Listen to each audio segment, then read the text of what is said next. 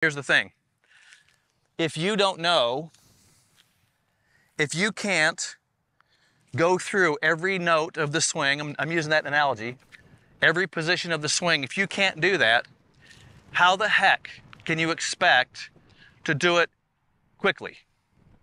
That's a fair question. And it's also the kind of question that's common sense.